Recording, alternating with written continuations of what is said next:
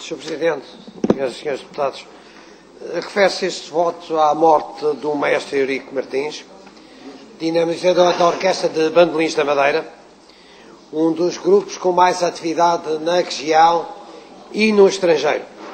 Trata-se de levar, louvar o mérito inegável de uma personalidade relevante da nossa sociedade.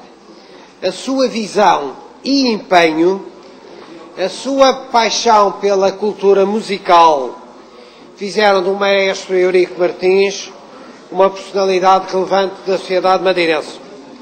O seu trabalho árduo permitiu eh, erigir um grupo musical que dá identidade à nossa cultura, à nossa forma de ser, aos nossos valores, à cultura madeirense, e que, desse ponto de vista, reforçam a qualidade da nossa vida. Viver em sociedade é também rever-se em, em pontos fortes, em pontos de mérito que a sociedade consegue, consegue estabelecer.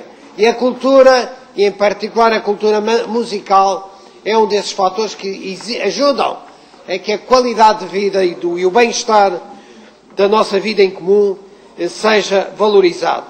E permite até melhorar a nossa capacidade de qualificar o turismo. Porque uma região de turismo é uma região que tem uma capacidade de oferta de cultura que a identifica, que a torne diferente, que a diferencie, que a torne diferente de tanta e tanta oferta de turismo que há pelo mundo, pelo mundo fora.